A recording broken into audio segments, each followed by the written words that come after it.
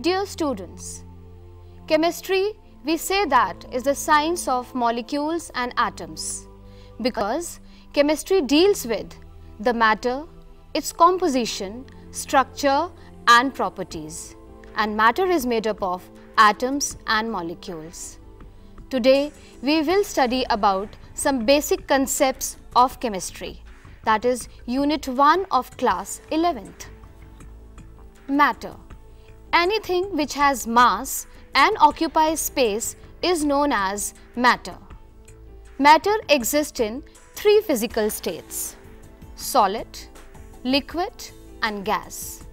It all depends upon that how the constituent particles are packed and the strength of the intermolecular forces. In the solids, the constituent particles are very closely packed and the intermolecular forces are very strong. In liquids, as compared to the solids, the molecules are not so closely packed and in the gases, the molecules are very loosely packed. Let's see. The solids, they have a fixed and the rigid particle structure. It is only because the constituent particles are very closely packed. Liquids have weak bonds and the molecules are free to move. Gases have no bonds among different atoms and molecules. Liquids and gases can take the shape of any container.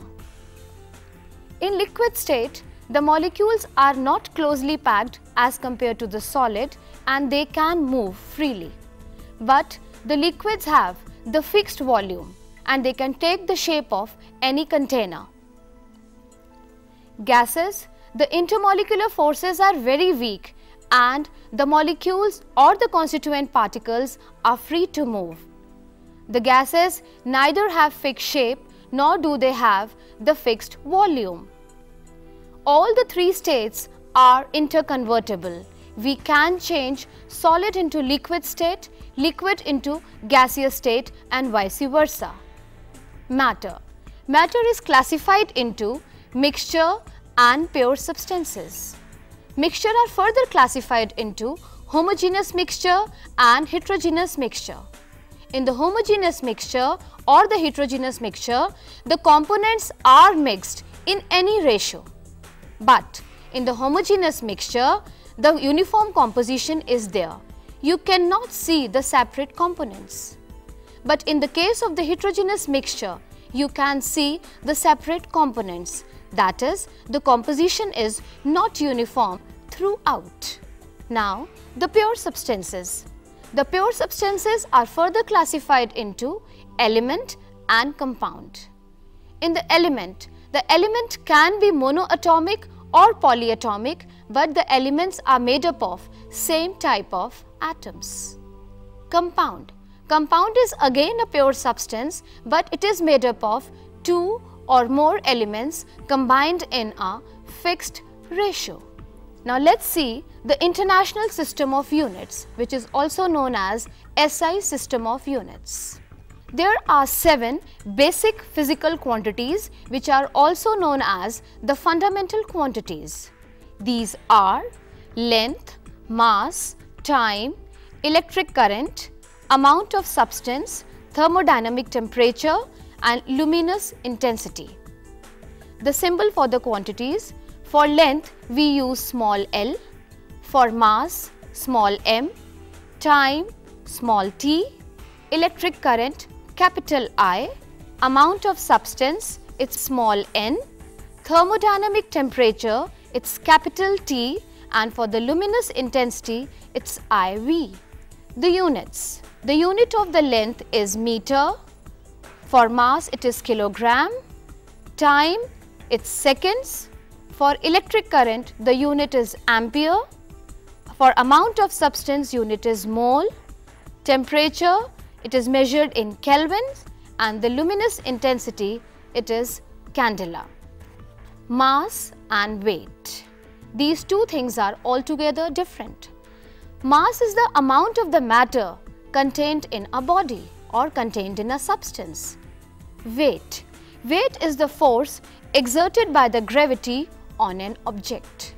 Mass for a substance is constant and we can measure it using an analytical balance. Gravity varies from place to place. For measuring gravity, we use spring balance. Temperature Temperature is the degree of hotness or the coldness of a body. We use three fundamental scales to measure temperature. Degree Celsius, degree Fahrenheit and Kelvin. All these three scales are interconvertible.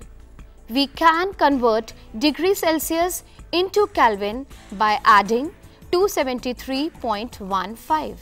For example, 0 degree Celsius is equals to 273.15 Kelvin. Similarly, 100 degrees Celsius is equals to 373.15 Kelvin. Degree Fahrenheit can also be converted into degree Celsius by using the formula degree Fahrenheit equals to 9 upon 5 into temperature in degree Celsius plus 32. Dear students, in chemistry, we do experiments and we deal with the theoretical calculations also. And in this, there are uncertainties in the result. To have the result with certainty, we follow some rules. Let's deal with that now. Uncertainty in measurement.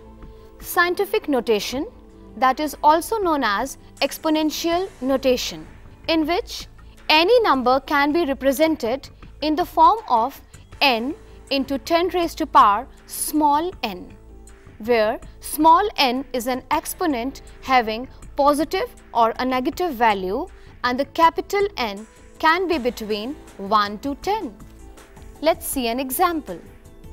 232.508 in scientific notation can be written as 2.32508 into 10 raised to power 2. From here you can very well see that we have shifted the decimal two places towards left. When the decimal is shifted two places left, we say as a positive 2. Next example, 0.00016 can be written as 1.6 into 10 raised to power minus 4. Here you can see that we are shifting decimal 4 places towards right. When the decimal shifts towards right, we put negative sign with the exponent. This is how we write any digit in the exponential or the scientific notation. Significant figures. Significant figures are the meaningful digits which are known with certainty. Whenever we measure, the last digit is always uncertain with the uncertainty of plus minus 1. For example, 14.2 ml is the volume. In this, 14 is certain but 2 is uncertain. There are few rules we have to follow while writing the significant figures. Let's discuss all these rules one by one. First rule, all non-zero digits are significant. For example, 91, it has two significant figures 9 and 1. Both are non-zero digits. Another example, 123.45.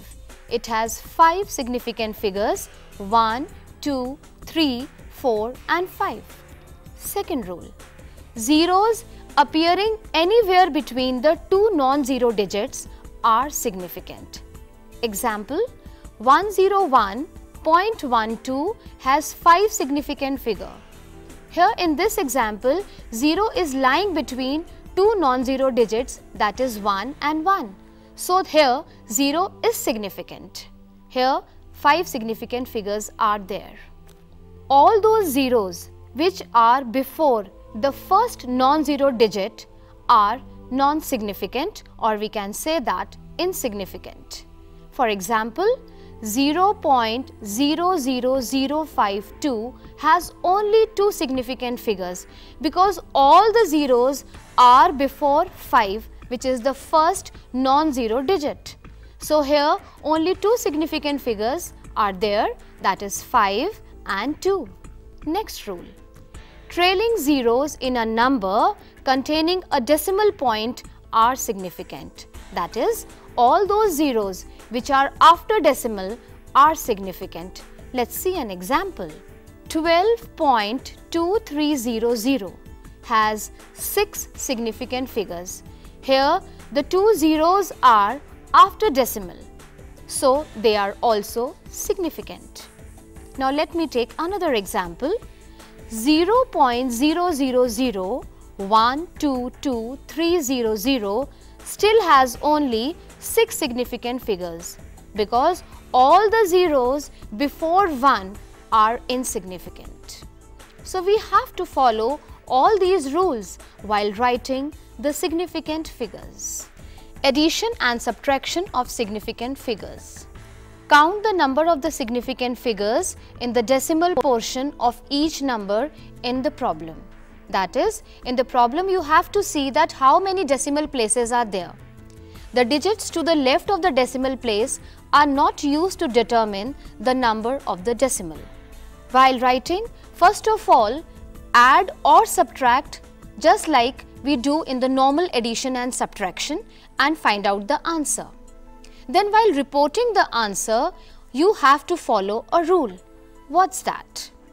Round the answer to the least number of the places in the decimal portion of any number in the problem. That means we have to see that which number has the minimum number of the decimal places. Our answer must have that minimum number of the decimal places. Let's see an example. 12.11 plus 18.0 plus 1.012. I am adding it in a very normal way, a normal addition. 31.122 is the answer. But I will report the answer to the significant figures that is 31.1. Now why my answer is 31.1? Because one of the number in the problem is 18.0. It has only one significant figure after decimal. So my answer should have only one significant figure after decimal that is 31.1. Rules for multiplication and division of the significant digits. The least number of the significant figures in any number of the problem determines the number of the significant figures in the answer. That is, the numbers we are multiplying or dividing, then our answer should have only that number of the significant figure in which our number have the minimum number of the significant figures. Let's see an example. I am just multiplying 2.5 into 3.42 the normal multiplication, the answer comes out to be 8.55. But the answer reported is 8.6 that is it has only two significant figures. Why only two significant figures? Because the two numbers which I am multiplying 2.5 and 3.42 out of this 2.5 has only two significant figures. So my answer should have only two significant figures. This is all about the rules which we follow doing simple calculations.